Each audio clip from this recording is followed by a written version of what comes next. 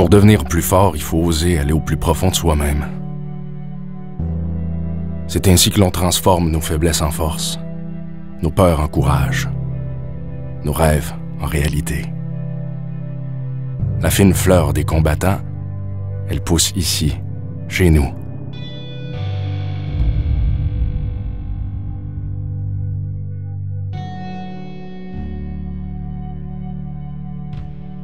Moi, j'ai grandi avec beaucoup de problèmes quand j'étais jeune. Si j'avais pas eu le karaté, ben je sais pas où ce que j'aurais été.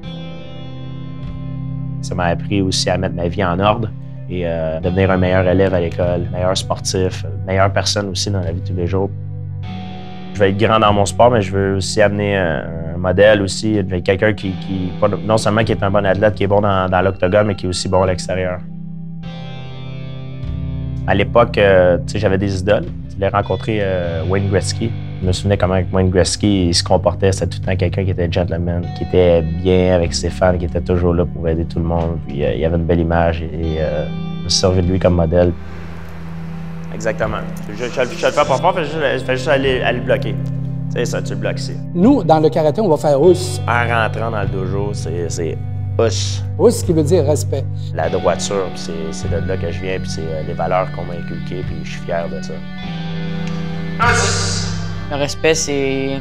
Dans un combat, c'est de pas lui, lui, faire mal, physiquement ni mentalement, parce que c'est pas, un, pas une compétition.